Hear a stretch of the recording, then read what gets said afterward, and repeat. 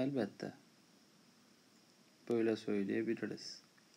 Risale eserlerini bilmeyenler, tahkik, tahlil etmeyenler, hatta dikkatli okumayanlar, hatta okusa da tam isabetli doğru anlayamayanların söylemiş oldukları delilsiz, mesnetsiz bazı ifadeler var.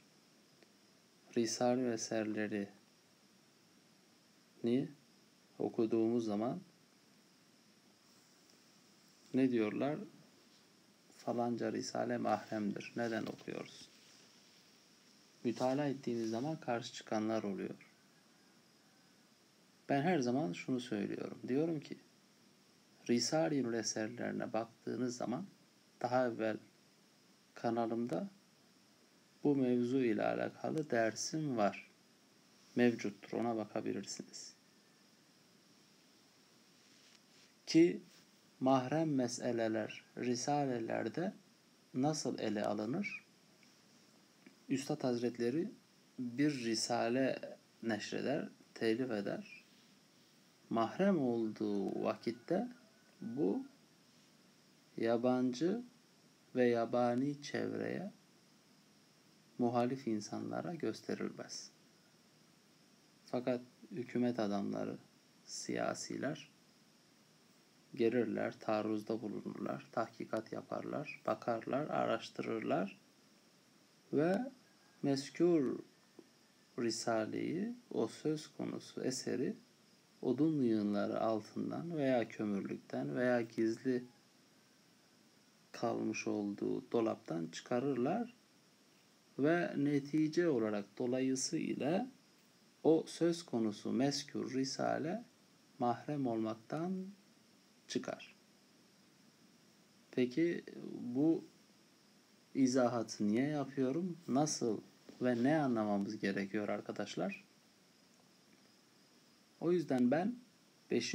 Şua Risalesini ve hatta Risale-i Külliyatına dahil olmayan Sırrı İnatayna Risalesini okuduğum zaman mahrem olduğunu söyleyen ve Risale eserlerine uzaktan bakan, yabancı kalan insanlar var. Ben sadece size bu eserleri neden okuduğum ile alakalı iki sebep göstermek istiyorum. Fakat Risale eserlerinden. Kendi karihamdan, fehmimden, zihnimden, nefsimden, cesedimden, cismimden değil. Şimdi bakın. Şu Şualar Risalesini beraber açalım. Ve 324. sayfayı beraber okuyalım.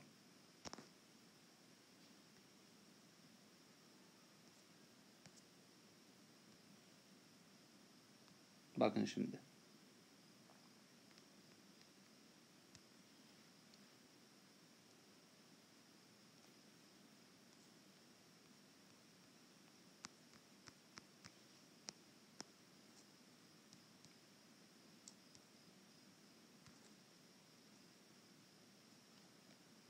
Şurası.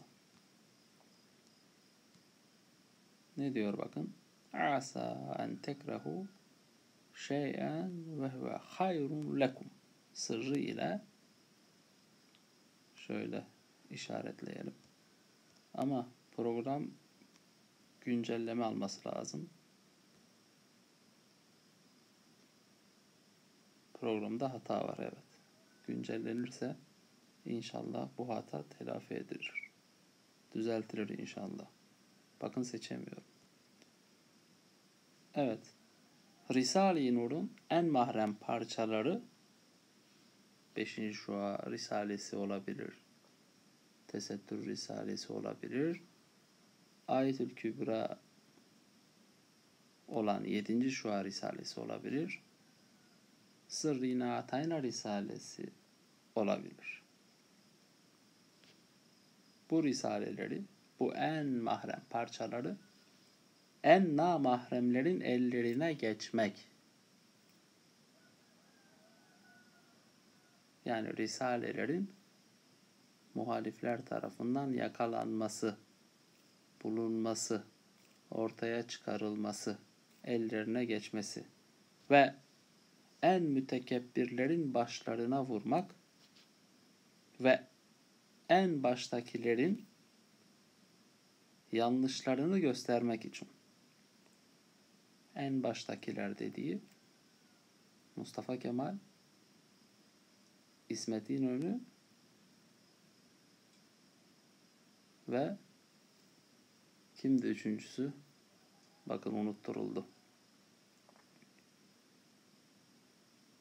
O üç isim Risale eserlerinde mevcut. Sırrı İnatayla Risalesinde de sarih olarak açık şekilde ifade ediliyor arkadaşlar.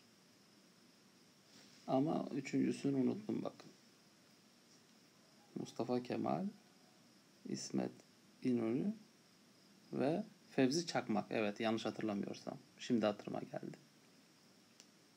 Bu üç ismin yanlışlıklarını göstermek için sırran tenevveret perdesinden çıktı. Biraz evvel söyledim ya Risale eserleri eğer onların ellerine geçiyorsa ve geçmişse burada artık mahrem bir eserden dolayısıyla mahrem bir risaleden söz edemeyiz, etmeyiz, etmemeliyiz. Anlaşıldı değil mi? Risale-i Nur'un en mahrem parçaları en namahremlerin ellerine geçmek ve en mütekebbirlerin başlarına vurmak ve en baştakilerin biraz evvel isimlerini zikrettim, telaffuz ettim. Yanlışlarını göstermek için bu yanlışları da risalelerde var. O yanlışların neler olduğunu da bilmek, dinlemek, öğrenmek istiyorsanız yine kanalımda bu mevzu ile alakalı sohbetlerim var. İçun sırran tenevveret perdesinden çıktı. Yani gizli nurculuk artık açık olarak yapılmaya başlanıldı. Şimdiye kadar mesele küçültülmek isteniliyordu. Fakat nasılsa bildiler ki mesele pek büyüktür ve ehemmiyetle celbi dikkat ise Risale-i Nur'un parlak fütuhatına ve düşmanlarına da hayretle kendini okutmasına yol açar.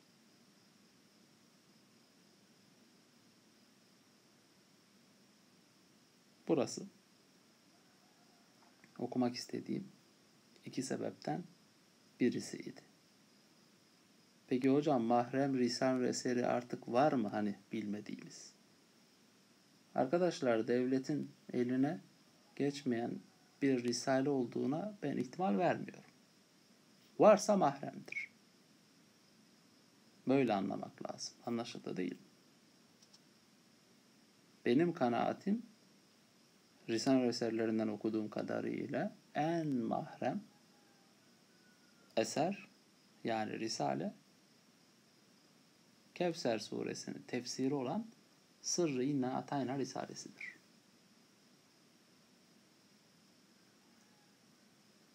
Peki bu mahrem risalelerin mahrem kabul edilen zamanında böyle telakki edilen risalelerin şimdi mahrem olmaktan çıkmasının hikmeti, anlamı, manası nedir derseniz bakın size bu husus ile de alakalı bir bahis okumak istiyorum. Buraya biraz evvel not aldım. Görüyorsunuz. 338. sayfayı okuyalım.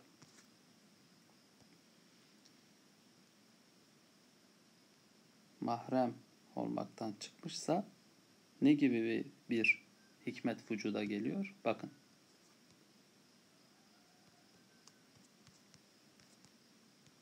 Mahrem olmaktan çıktıysa Bizler zaten okuyorduk da korkaklar için de yeni bir kapı açıldı. Artık evde boş boş oturmayacaklar. Elbette hemen tedarik edip bu eseri hemen temin edip okumaya başlamalılar.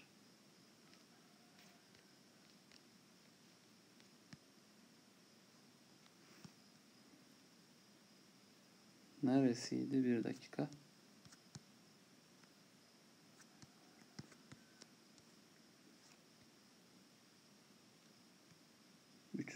Sekiz mi?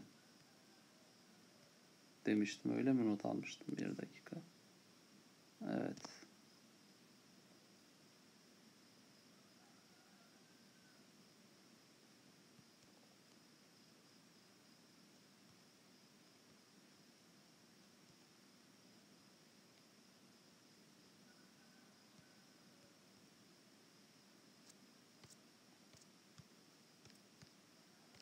Bulamadım ama bir dakika. Evet şurası 338 işte.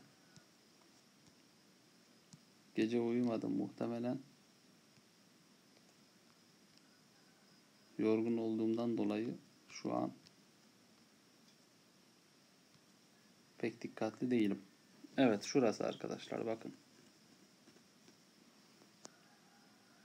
Aziz Sıddık kardeşlerim.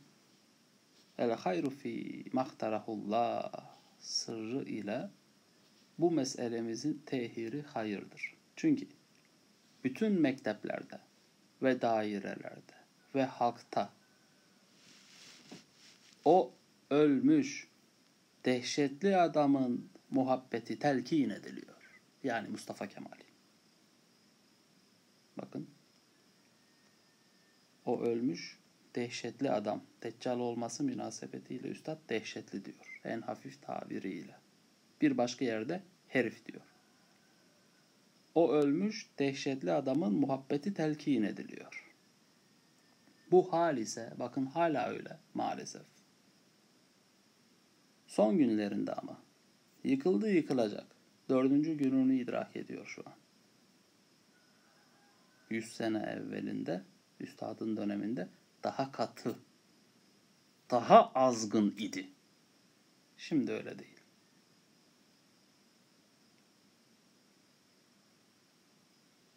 Bu hal ise alemi İslam'a ve istikbale pek elim ve acı bir tesiri olacaktı. Şimdi ihtiyarımızın haricinde onun mahiyeti ne olduğunu şimdi bana soruyorlar. Mustafa Kemal kimdir? Hemen cevap veriyorum. Deccal ve Süfyan ve münafıktır. Hemen Risale'den savcıya da, hakimeye de delillerini gösterdim. Bunları söyledim. Şimdi ihtiyarımızın haricinde onun mahiyeti ne olduğunu,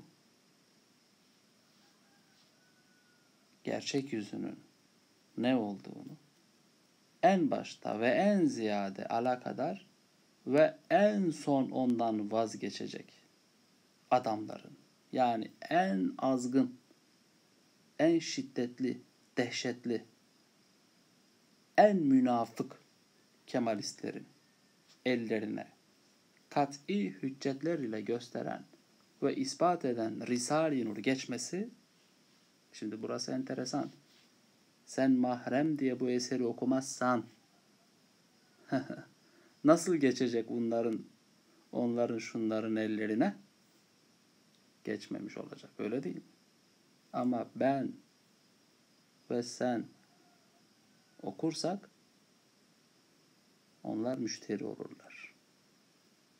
Biz okursak mahrem diye elimizin tersiyle itmezsek ki mahrem değil biraz evvel izah ettim. O vakit bu eserler onların ellerine geçecekler. Onlar da inşallah ihtida edecekler. Öyle değil mi? Hidayet dilemek lazım. Bir putperest, münafık, kemalist neden şeriatçı bir mümin, bir nurcu olmasın ve cennete gitmesin? Neden? Nurcu olsun, şeriatçı mümin olsun, cennete gitsin. Değil mi? Biz istemeyiz cehenneme gitmelerini. Çünkü şu an yaşıyorlar ve tevbe hakları var. Tevbe etsinler. Ne güzel değil mi? Risale-i Nur onların ellerine geçmesi kemali merak ve dikkatle okunması öyle bir hadisedir ki bizler gibi binler adam hapse girse hatta idam olsalar dini İslam cihetiyle yine ucuzdur. Yani ben şu an Sırrı İna Atayna Risalesini yani Kevser suresinin tefsirini okusam diyeceğim. Fakat okudum zaten. Okuduğum için buna rağmen beni idam etseler, öldürseler katıksız direkt şehit olurum. Elhamdülillah derim. Allah nasip ederse. Onların Risale-i Nur ellerine geçmesi, kemali merak ve dikkatle okunması öyle bir hadisedir ki bizler gibi binler adam hapse girse hatta idam olsalar din İslam cihetiyle yine ucuzdur. Hiç olmazsa küfrü mutlaktan ve irtidattan en mütemerritleri bir derece kurtarır, meşkuk bir küfre çıkarır. Üstad öyle diyor. Meşkuk bir küfür de İslam'a olan bir hizmettir. Yani acaba Mustafa Kemal Said Nursi'nin dediği gibi Deccal olabilir mi? Acaba seviyesine gelirse bu senin açından bir bonustur. Mukabilini, sevabını alırsın. Allah'a şükür edersin. Acaba Deccal mi seviyesine getirdin bak adamı. İlah mevkiine yükseltiyorken döndü, dolaştı, risaleleri okudu. Acaba bırak ilah olmasını acaba deccal olabilir mi? Bu seviyeye getirdiğin zaman sen vazifeni yapmışsın demektir. Meşkuk bir küfür budur. Mağrurane ve cüretkarane tecavüzlerini tadil eder. Önceden mesela ilah mevkiine yükseltmişlerdi Mustafa Kemal'i. Sevmiyorum denildiği zaman bir suç, büyük bir cürüm telakki ediliyordu. Yahu seni yaratan, ilah kabul edilen biri sevilmez mi? Sen ne diyorsun deniliyordu. Fakat şimdi dedim ya dördüncü gün onu idrak ediyor. O taassup, o yobaz hal kırıldı. Dördüncü günü olması münasebetiyle şimdi sevmiyorum diyebilirsin. Çünkü mağrurane ve cüretkarane tecavüzleri kırıldı. Onlar meşkuk bir küfre çıktı. Yakında benim gibi erken konuşmayan fakat vakti zamanı geldiğinde ki zaten vakti zamanı geldi fakat onların efkarına göre, onların düşüncesine göre hala zamanı var. Bu yanlış bir düşüncedir. Zamanı geldi geçiyor diyorum ben de.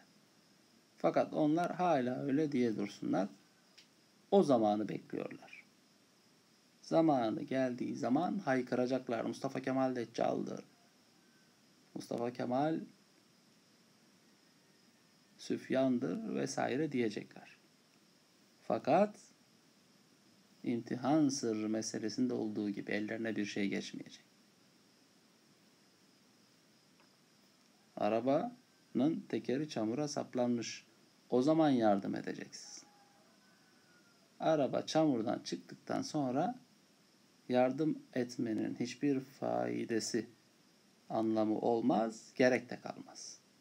Maslahata uygun olmaz yani. O zaman arabaya binenler çok olur. Fakat esas mesele herkesin korktuğu elini taşın altına sokmasının kendisi açısından iyi olmadığını düşündüğü bir anda sen masaya yumruğu vurmalısın. Önemli olan budur. İşte ben bunu yapıyorum. Hatta Risale'deki ifadelere bakarsak geç bile kaldığım söylenebilir. Neden? Çünkü ben o yıllarda dünyaya gelmedim. Allah beni bu yıllarda yarattı. Ama yaşım itibarı ile 17 yaşımda bu hakikatlerin farkına vardım. Bu mealde, bu manada değerlendirirsen geç kalmadım. Fakat üstadın yaşamış olduğu tarih itibarı ile meseleyi ele alırsan geç kaldım. Lakin bu benim irademe taluk eden bir hadise, bir mesele değil. Çünkü dünyada değildim. Yaratılmamıştım.